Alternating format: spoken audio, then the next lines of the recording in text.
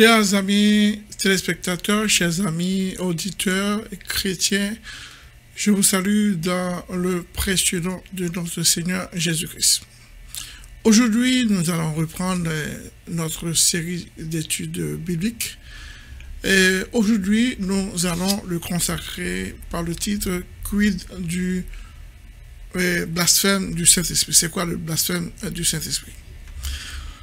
Pourquoi nous avons choisi de vous parler de ce verset? C'est parce que dans certaines églises, je ne dis pas toutes les églises, il y a certaines églises qui prétextent que le chrétien ou le croyant peut perdre son salut si eh, il invoque ou bien il doute contre des miracles proférés par et les pasteurs, les prêtres ou les prophètes qui sont dans certaines églises. Donc il ne faut pas en douter. Et si vous doutez, donc vous péchez contre le Saint-Esprit. Cela vient du fait que dans Matthieu euh, chapitre 12 du verset 31, nous allons lire. Matthieu 12 verset 31 qui dit, c'est pourquoi je vous dis tout péché et tout blasphème sera pas donné aux hommes, mais le blasphème contre le Saint-Esprit sera point pardonné. Donc ça veut dire que le blasphème du Saint-Esprit ne sera pas pardonné, ni dans ce siècle, ni dans le siècle à venir. Donc, c'est une sorte de... Ce blasphème, en quoi consiste-t-il? Pourquoi certains pasteurs, certains évangélistes ou certains prophètes et mettent en avant ce péché contre le Saint-Esprit pour un petit peu et plonger le cerveau de, des croyants dans la peur qu'ils vont perdre leur salut et qu'ils devraient croire intimement dans les miracles qu'ils profèrent.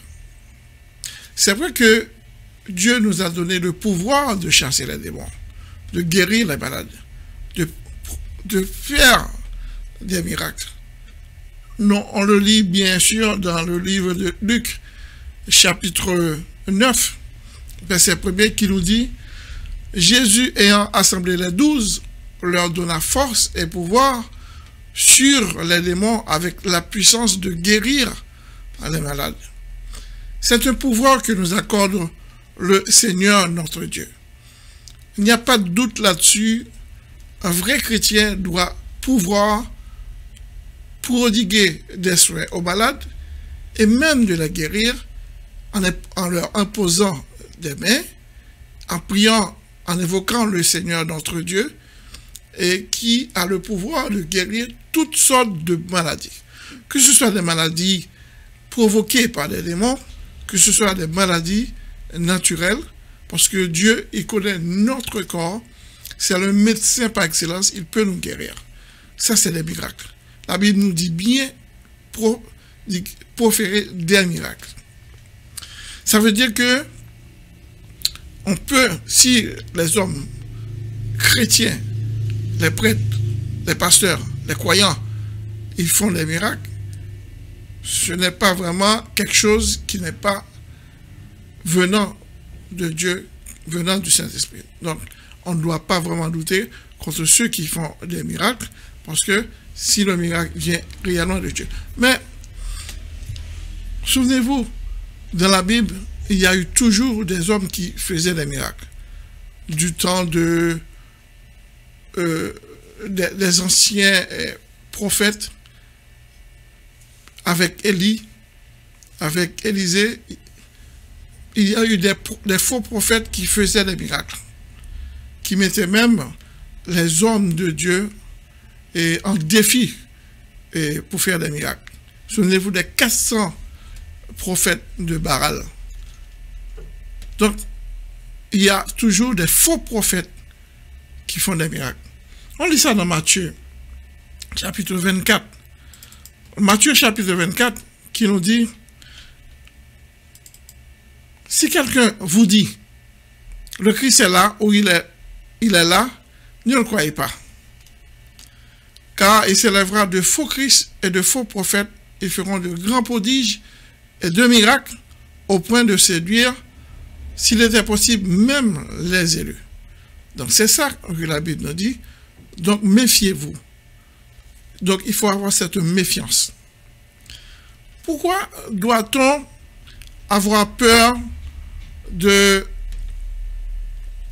que certains pasteurs qui font des miracles, si c'est des faux pasteurs, pourquoi nous qui sommes chrétiens, doit-on avoir peur de juger certains miracles que certains prophètes font? Nous avons le droit de juger. Et si nous jugeons certains miracles, et si nous ne croyons pas à certains miracles, c'est parce que Christ nous a donné l'ordre de nous méfier de certains miracles, de certains prophètes, de faux Christ qui viendront au nom de Jésus-Christ. Nous avons ce droit également. Et pourquoi pensons-nous que c'est quoi normalement le blasphème du Saint-Esprit? Un vrai chrétien, un chrétien qui croit en son salut, un chrétien qui accepte Jésus-Christ et qui accepte le salut en même temps de Jésus-Christ, pense, et il sait déjà qu'il a le salut, qu'il est sauvé, pourquoi devrait-il perdre le salut?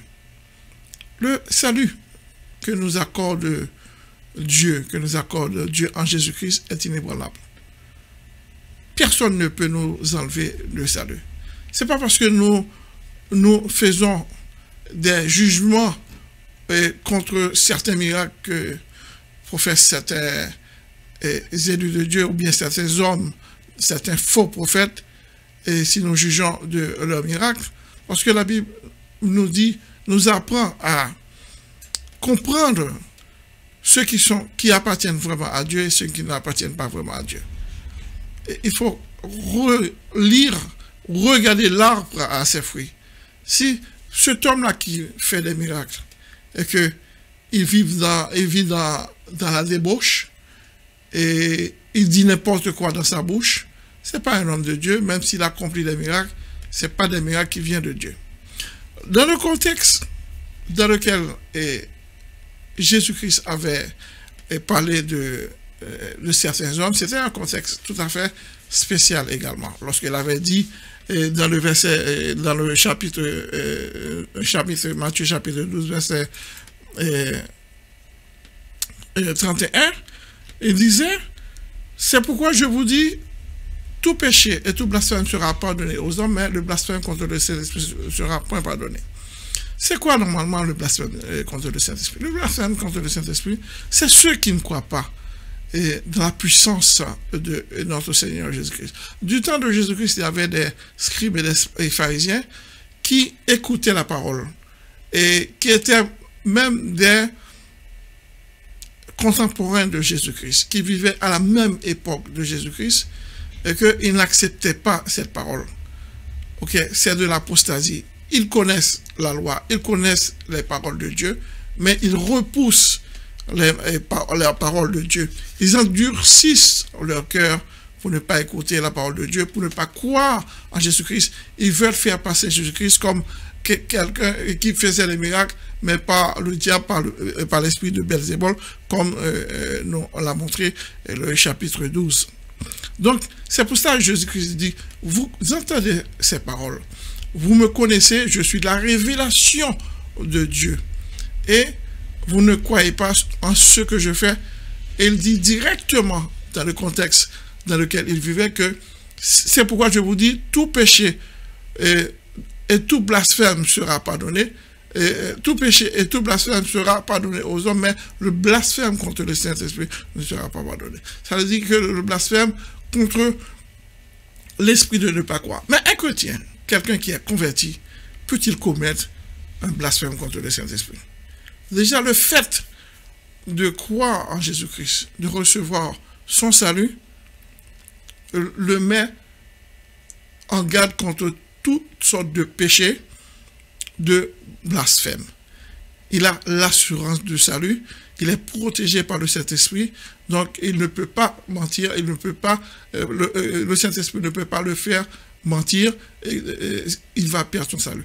Le seul moyen qu'on puisse perdre son salut, c'est-à-dire qu'on puisse perdre et qu'on puisse pécher contre le Saint-Esprit, c'est de ne pas croire en Jésus-Christ, c'est de repousser, et même lorsque l'on sait, on est déjà au courant des valeurs de la puissance du salut de notre, donné par notre Seigneur Jésus-Christ, c'est à ce moment-là que l'on peut puisse pécher contre le Saint-Esprit. En un mot, un vrai chrétien, un chrétien qui croit en son salut, ne peut pas pécher contre eux, surtout s'il est converti, surtout s'il accepte le Seigneur Jésus. Donc, n'écoutez pas ceux qui, vous, mettent dans l'esprit des doutes que vous pourriez perdre votre, salut parce que vous pensez du mal de leur miracle, vous pensez du mal de leur pratique, vraiment, qui, qui ne correspond pas à l'Esprit de Dieu qui ne correspond pas à la volonté de Dieu.